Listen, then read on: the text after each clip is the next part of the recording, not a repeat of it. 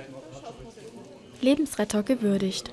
Der Vogtlandkreis und der DRK Blutspendedienst ehrten gestern Abend 60 Frauen und Männer für ihre 100., 125., 150. sowie 175. Blutspende.